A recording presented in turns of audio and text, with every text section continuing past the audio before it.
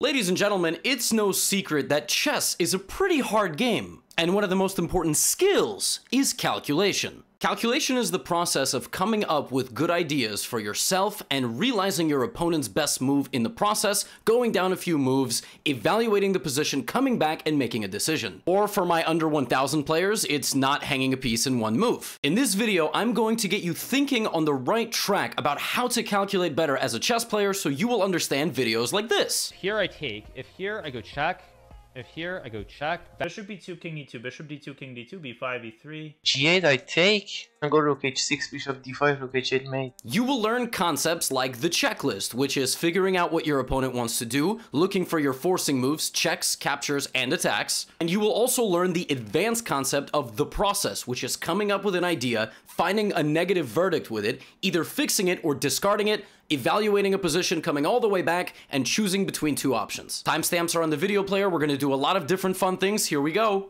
So we kick things off with beginners, and I don't really know what the rating cutoff here is necessarily. I'm just going to say it like the ceiling is a thousand, but some of the 1100s and 1200s watching might also benefit from this.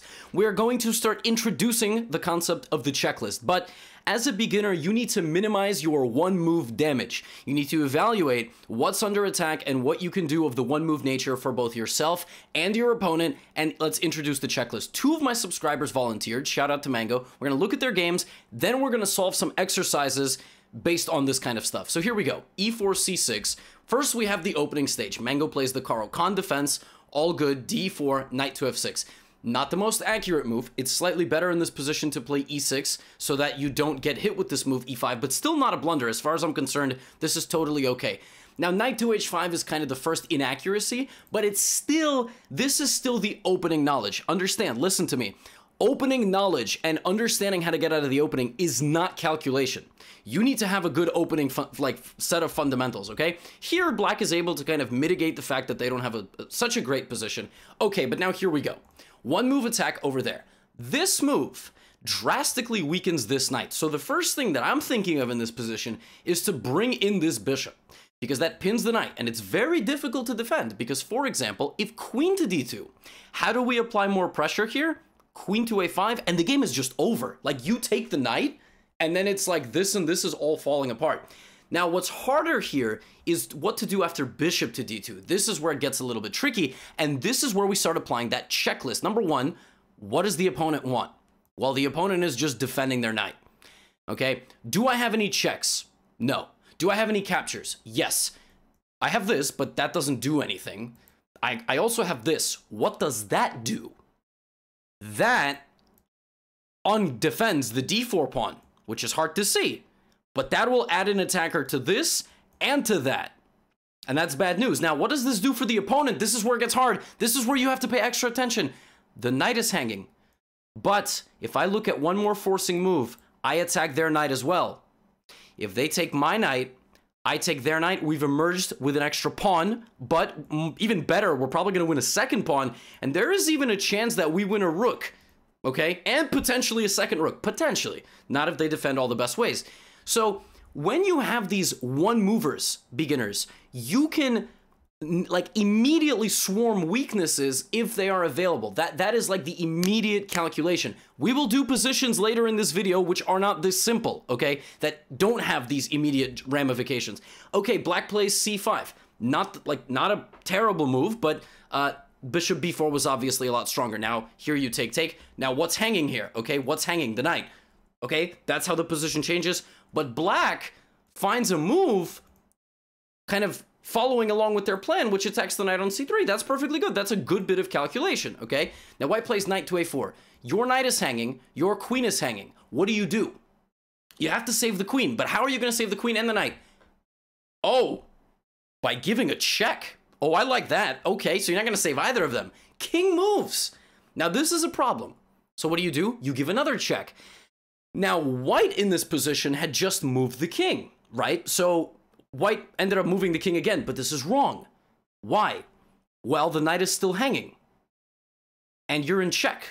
So how do you make sure you can win the knight and it's not going to go anywhere? By just bringing the bishop back. Because now the queen hangs and the knight is hanging. You see what I'm talking about? That is how you would do it. By moving the king, this gives black a full move to play this. And now black safeguards their knight. They can still lose a pawn. They can still lose a pawn, but that is how these one movers work. Bishop back to e2 is a very difficult move to play, considering white has already moved to f1. But that is, you need to be cerebral enough to pick this stuff up in game flow. Like, oh, I can win the knight. I can win the knight because it can't move anywhere, but it can be protected. And if I just move my bishop back to block, by the way, blocking checks is a big blind spot for beginners. Like they they they often move the king when it's check or you know, they don't want to trade queens. Now black safeguards. Now white plays this move. That move doesn't make any sense. That move is designed to prevent me from castling. Black just develops, and now white plays g4. Oh! Turns out that that move did have an idea, and it was to trap the knight and not let the knight escape. Uh, well, there you go. That's a very tough move to see. I don't actually know if that was the full extent of White's idea, but credit to uh, to White because I'm not gonna lie, I didn't even see that in the middle of the game flow. So there you go. Very tricky idea. Now, knight takes pawn, free pawn. You see? We're picking this up. Now, ladies and gentlemen, why is queen takes pawn bad? Why is queen takes pawn bad? Like, let's say you were playing with the white pieces here. You want to play queen takes pawn. Oh, I'm pinning the knight to the rook. If the knight moves, I take everybody. Because, and I can flip this just to show you, if queen takes pawn, knight takes bishop. It's check, and you lose your queen. You play this move because you see this, but you forget your queen is guarding your bishop. These one movers happen all the time. And that is something that we have to pick up on as beginners. But this game concluded with the knight getting taken, a trade, long castle. Now long castle stopped protecting the f7 pawn. Okay, queen f7. And now e6 is under attack. So black plays d3, just pushing a pawn. Not really, not really sure what's going on there. Queen takes pawn check, king b8. Now white plays c3, attacking the bishop. You cannot take this, right? But black plays another really nice move. Not moving the bishop, counter-attacking the queen. Danger levels. Rook c8, very nice move. Activating the rook, queen moves out of the way, and now the bishop comes back. Trade of bishops, c4. Okay, queen b4. Queen d1. And, and remember that at this point, the players are in a little bit of a time trouble. Um, so obviously, like, one movers are getting overlooked. Now, one last thing I want to draw your attention to in this game. What is the softest spot near black's uh, near near the king? This. You have a rook there, right? And it would be really nice if you could take there with the queen. But again, one movers don't work because the knight is right there. So that is how you would calculate in the span of a game, right? There would be this kind of constant evaluation process of what is it that my opponent is doing, what is weak, what can I capture. We're going to try to apply this in another beginner game. Shout out to V, longtime supporter uh, of my uh, of my Twitch channel in particular. Um, rated 759. Now this game begins with a okay a Sicilian defense, but at 670 there's no such thing as a Sicilian defense. There are some opening mistakes. Okay, queens are traded. Uh, black can no longer castle. Great. Uh, white should probably push the pawn in the center because white goes here and forgets that even at this stage, there's these one movers, right? These one movers. Okay, knight takes. Now white trades and takes with the king, which is not a bad move, but uh, you have to justify it, and actually white does. White finishes developing and now brings the rooks to the middle. This is all very, very smart. Rook d1, knight d7, and castles what's known as by hand. It looks like white has castled.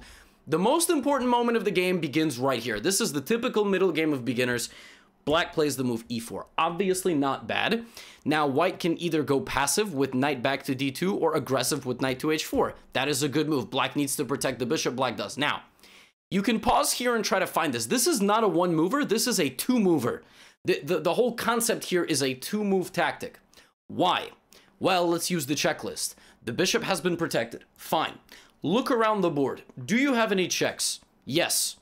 Is it good? No. But your rook pressures the knight, and the king is on the other side. So what should that trigger in your brain?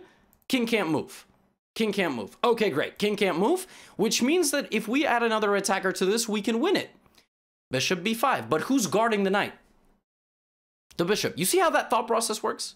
So of course you take, and now all you need to do is attack the knight one more time and you're going to win it.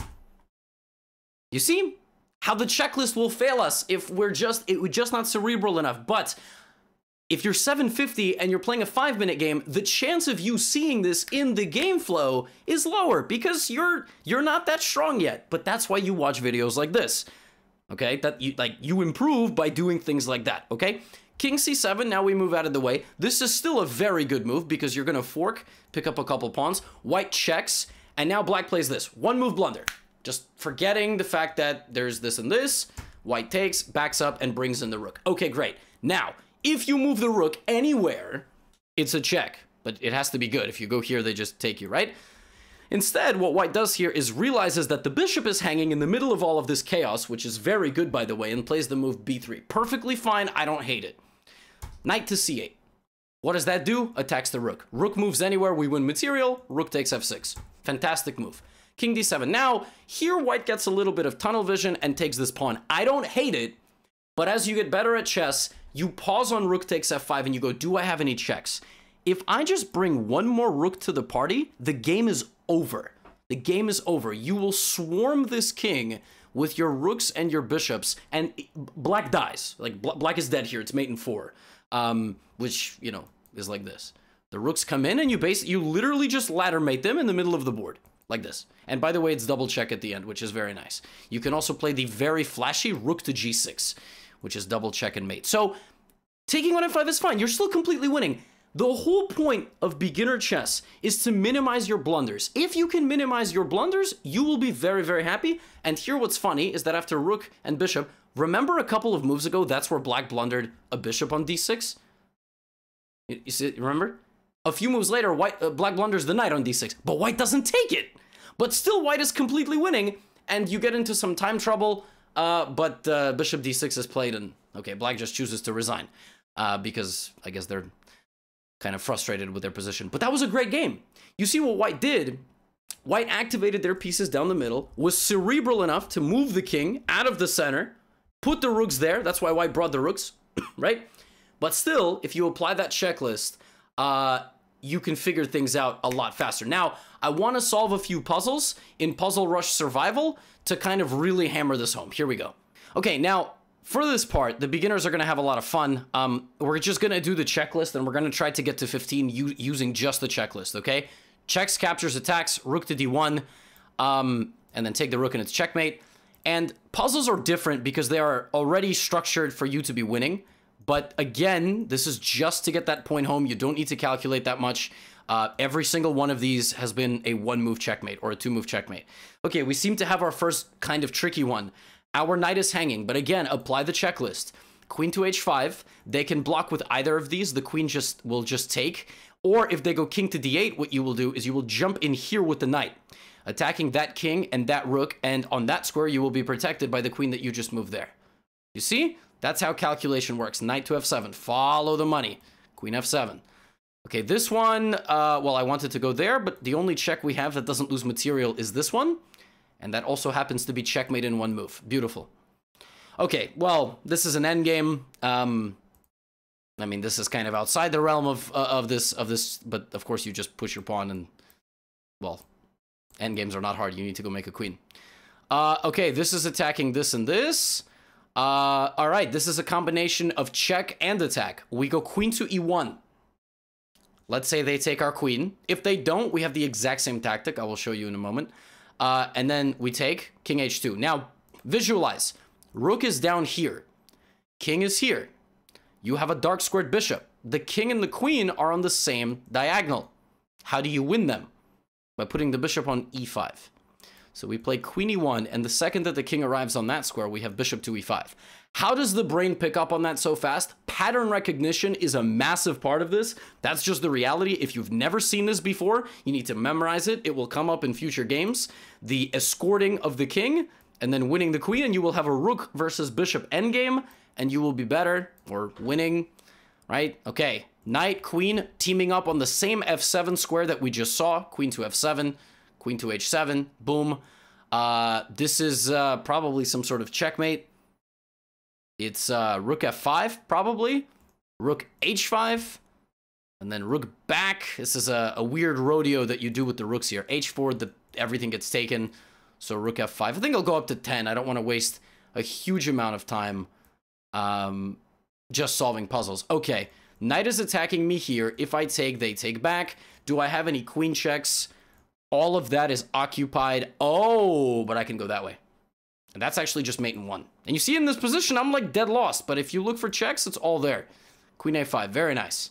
Uh, we'll do this one because this is a very famous queen and rook. You go here, and then the back rank checkmate. The king has no escape. Same thing, see? Sack the queen on the back rank. We just saw that a couple puzzles earlier. Um, this is probably some checkmate, yeah, like knight c2 or, or, or something. You have like some checkmate here. Uh, knight c2, king d1, and visualizing that the king is no longer protecting the bishop, and queen e1 is mate. Yeah, so this is checkmate in three. Knight c2, boom. And uh, Around here, they stop being checkmate. So let's pause here for now, but you see how we apply this? Let's move on to the intermediate and advanced concepts. Okay, so intermediate and advanced players watching this, the most important thing for all of you, beyond the, the basic tactics and, and, and all these kinds of things, the most important thing to get better is to begin proving yourself wrong and identifying your opponent's best moves. Stop only calculating for yourself. So you need to find an idea. That's called the process find the negative verdict of that idea and either fix it or abandon the idea completely. If you find an idea and five things about it are good and one doesn't work at all, there is not a five out of six chance that it works. It means it doesn't work. I don't care how many positives you see.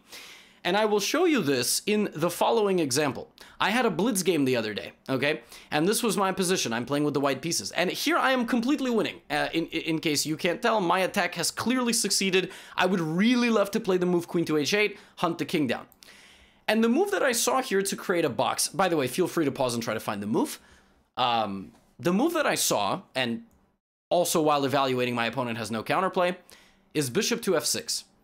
And the idea of this move is that, well, it just attacks the bishop.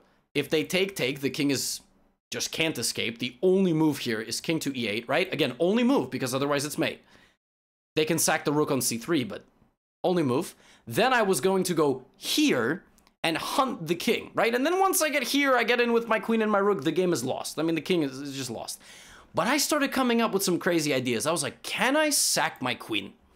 And the idea of this move is to go here, check. If the king goes to the back rank, it's mate. So king g6, okay? And now I wanted to go rook h3 with the idea to go check and mate, ladder mate. That was my big idea. And I was like, the king has no moves and there's no checks. I'm so smart. And I spent like 30 seconds. My chat was yelling, do it, do it, do it, do it, do it. And I was like, well, how does, what is black gonna play here?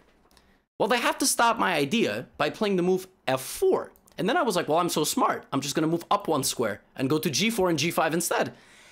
And then I had a brain blast. And the craziest thing is I had this brain blast back here. That's the thing about chess. You can't play the moves and then do you have to think. And I was like, well, take here, here, here, rook h3, f4, rook h4. Visualizing.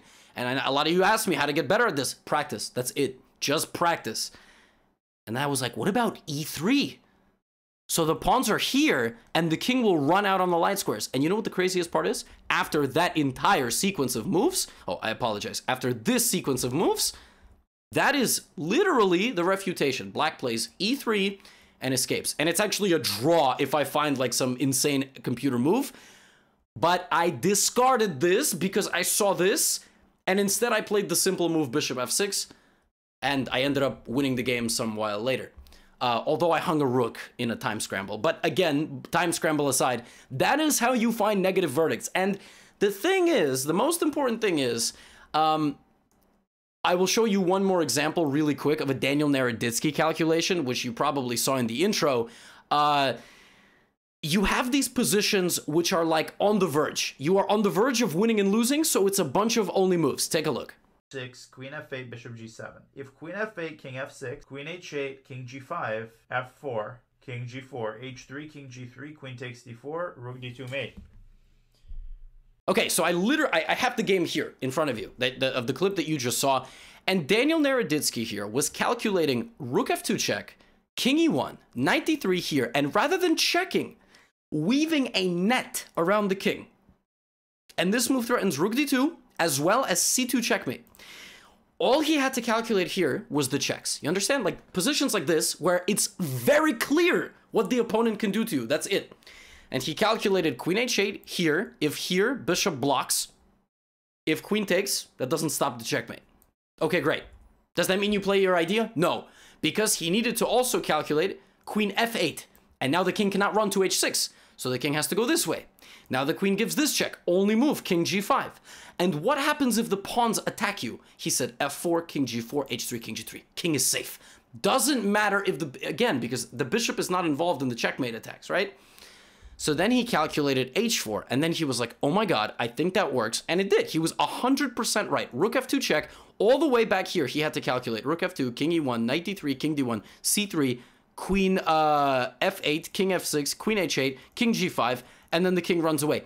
However, ladies and gentlemen, what if, what if I edit this position by just one move, and I move the h-pawn forward? Does rook f2 check work now? Rook f2, king e1, knight d3, king here, c3. No, it does not. Why? Feel free to figure out what the difference is. The difference is that I give you uh, this check.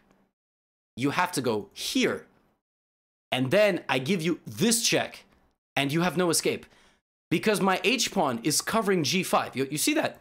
When the king is on f6 and queen h8, the king has no escape because every pawn is covered I mean, every pawn is covering the king's escape squares. The major difference there is the positioning of this pawn. And therefore, you would rule out the move rook f2. And you know what the crazy thing is? This position's still winning for black if black plays king h6. Voluntarily. And just goes for a run. Just goes for a run. Position is still completely winning, which I find fascinating. Um, and for example, if g4 here trying to prevent the king from escaping, then this does work because you have now softened up the f3 pawn. So I can checkmate you by force with this, this, and c3. And the same idea, because again, you will block. That's the major difference. So, uh, well, that was the Daniel Naroditsky calculation.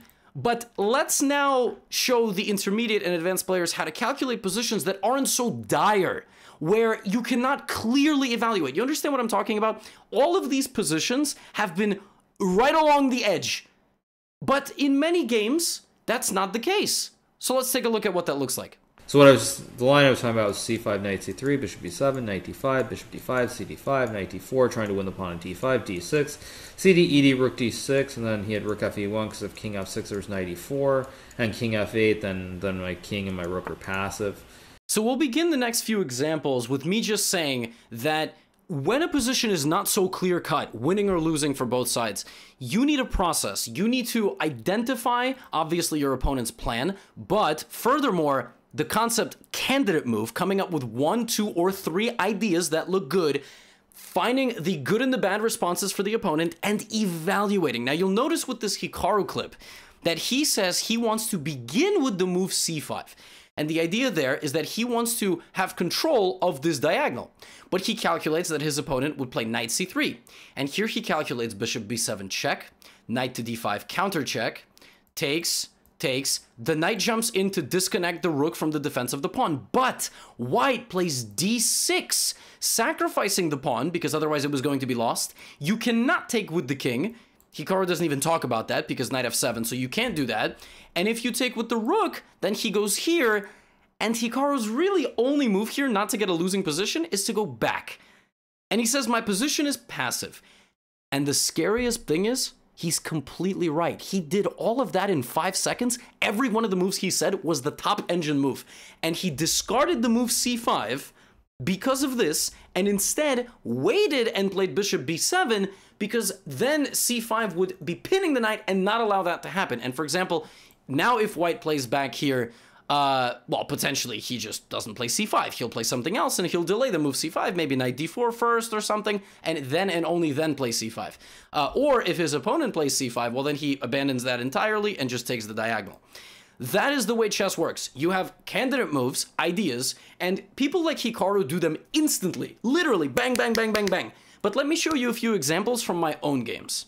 Okay, so let's begin with this example. I actually played this game about two hours ago, was just hanging out here and I played some Blitz. Strong Armenian International Master, rated 2700. Uh, and by the way, in Armenia, did you know that uh, chess is a mandatory subject for kids in school, like ages six and seven in Armenia? It's pretty cool. Anyway, uh, here we have a position where it's the opening. And I don't know the theory anymore, but from here on out, I'm basically just kind of playing solid and simple moves. And we go back to the principles I told beginners. Be solid, be smart, and don't overthink things and get low on time. So I just played a3. It's like, I want the bishop. Okay, we traded. Now I have the bishop pair.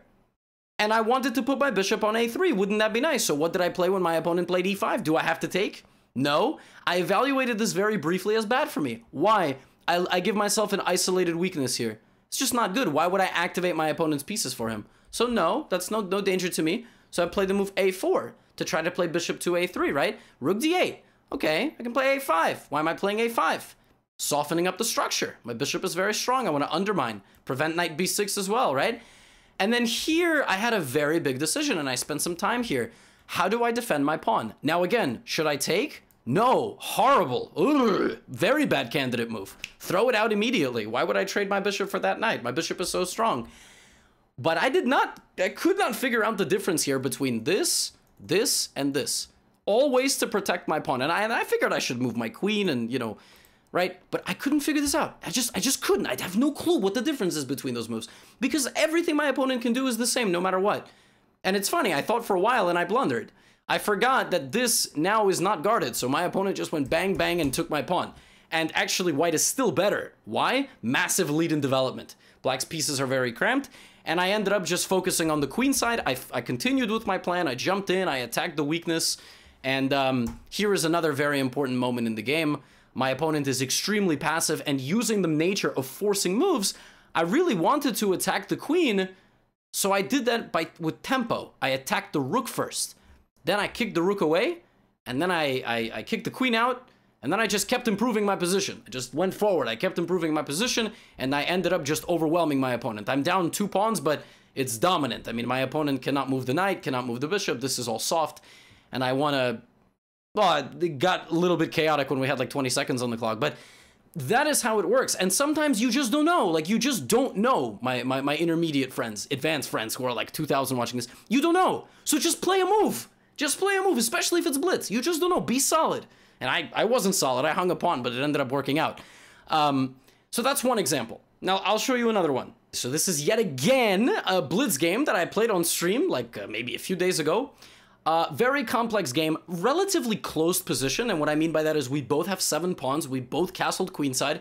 I'm under a bit of pressure, you know, opponent has two bishops, I only have one, but notice I put a bunch of pawns on light squares to counteract my opponent's light squared bishop, and here I played rook d7. Why did I play this move? Well, I want to play knight f5, but my knight right now is guarding my pawn. Okay, simple. So I play rook d7. And at this point, I'm looking, can my opponent sacrifice on e6 and take with the rook? They can't play c4, so there's no threats to my position. I play rook d7, rook e1, no threat, knight f5. Now I am threatening to take this pawn. An opponent here trades. Now, of course, what do you take with? It's funny. Of course, to, to me, it's very obvious. G. You take with G because why on earth would you would you open the red carpet for your opponent? Like this doesn't make any sense. Why would you allow the rooks to No, I don't like that. Let's take with the G pawn. Okay, opponent plays B3. What does B3 do? You remember the very first example we looked at? I did this on purpose. I prepare for my videos, okay? So if you made it this far, I just want you to know I appreciate you and you should appreciate that I prepare and I try to tie concepts together. It weakens this. The only way I can get to those pawns is by opening up my bishop with a pawn break, c5. But I don't want this move to come with check, so I slid my king back. And they can't play c4 because d4 is super soft. Opponent played this, and well, what, what was my plan the whole time? And remember, I'm monitoring this constantly. It's a constant mental thought process. Is that possible? Is something there? Boom, c5. And the second that happened, I took with the bishop because they can't take. There would be a fork with my knight. Then I glue in my bishop with my pawn. And then I transfer all my rooks and I'm ready to go. And you'll notice as this game progresses, I completely shift my focus to this side of the board, bring back the bishop. I end up winning a knight for a, a rook. And um, we had low time, so we shuffled a little bit here, but I ended up offering a kicking out the knight, activating my rooks. And I, I just, the game was completely decided on this side of the board, like completely all because I softened it up with a pawn break. Now we go all the way back. Clearly the move b3 was a mistake. My opponent should not have played the move b3. But it's also not easy to do anything. For example, if you play f4 trying to rotate the knight, it's not a terrible move, but I'm gonna continue to expand on this side because this is all shut down. No one's getting in there. No one's really getting in down the middle.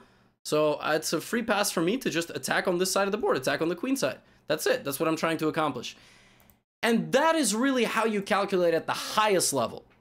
It's constant analysis of their threats, what they want, and what you can accomplish, and what, based on your moves, they are going to get in terms of opportunities. Okay, so let's summarize full screen. Beginners, what you need to do. Have some understanding of the fundamentals of the opening.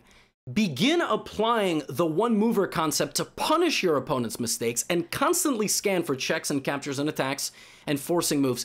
But before you make a move, look at their possibilities to you. Checks, captures, attacks for them. You will see a massive, massive, massive increase in your abilities. As you start traversing, you get to 11, 1200, you begin applying this process in positions that are not so clear cut. If there are no checks, there are no captures, there are no forcing moves. Okay, minimize my blunders. I'm gonna be solid, improve my position, make a one to two move plan, potentially expanding in the center or improving the position of my pieces or getting a favorable exchange. And that is where the middle game lessons start applying. But this is a video about calculation. So at the end of the day, what that means is I have three ideas, my candidate moves. Okay, number one, I've evaluated to the end, bad. Number two, looks good. Do I play it? No! Let me evaluate number three. Unless number two leads to checkmate, then you don't need to evaluate number three. Okay, I have ideas one, two, three. One is bad, two is okay, not bad. Three, also not bad. I can't tell the difference. That's where your experience comes in. Sometimes you will choose wrong. You will play the move, it's wrong. You, you were wrong. You were actually correct about playing the other move. That's chess. That's just how it works. So that is how you calculate. Sometimes it leads to checkmate. Sometimes it leads to a small strategic advantage. And sometimes four options look good. It's like being at a buffet. Everything looks delicious. What do you choose? I don't know. You can't really go wrong. And that, ladies and gentlemen, concludes this video. I hope it was useful. Please let me know if there are any comments in the comment section. I will happily address them. Uh, but this was a lot, so peace out. I'll see you in the next video. Get out of here.